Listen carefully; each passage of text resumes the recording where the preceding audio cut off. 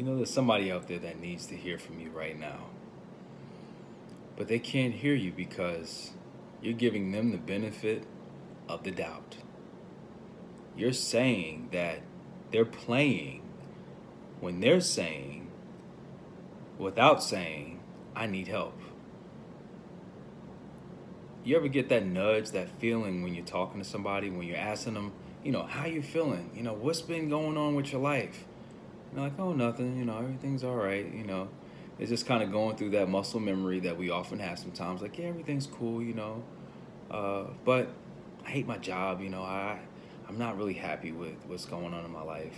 And they just kind of blow it off, and then you just start talking about sports. You start talking about some TV show or some the latest movie or whatever your your normal day talk is about or night talk about is about. And we miss that opportunity because we gave them, we doubted the fact that they needed to hear from us. But them hearing from us is to their benefit. Are we benefiting by casting doubt on those people? That little small crevice, that feeling that something may not be right with them, they may need a call. You know, they don't call me as much. And you know how we are sometimes. Person don't call us like, ah, they got my number. It's a two-way street. I'm talking to myself.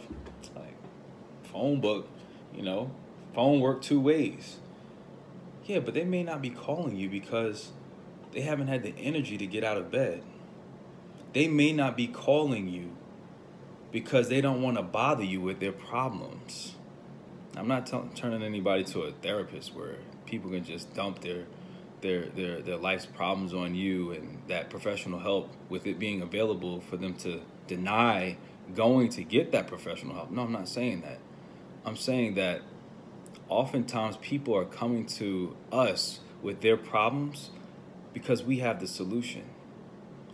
But the problem is is that we live in a society where we brush it off like ah they're just having a bad day they'll be, they'll be all right you know it's it's cool you know it, it's all right and they will brush it off the same way like I'm okay you know I just it's not I haven't been feeling it for a month I haven't been feeling it for you know a week we cannot deny when we're just not feeling it and we can't deny helping other people because we feel like this is just a one-off situation what if it's not a one off? What if they really need help, but they're too prideful? They're too proud to say, I need help. Who's going to help them? What are we called to do? Help people. So help them.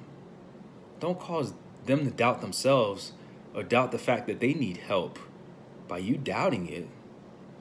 They're looking for a benefit, and the benefit is you. So what you gonna do? Are you going to benefit them? Or are you going to continue to doubt